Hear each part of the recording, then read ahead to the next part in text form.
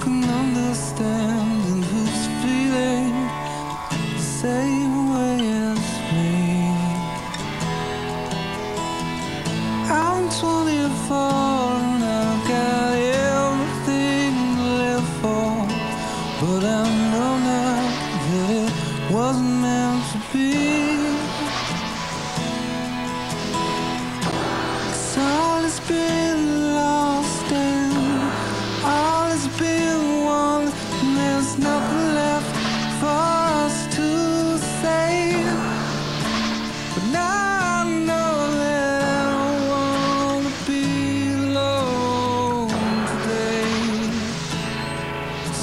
you find that you've been feeling just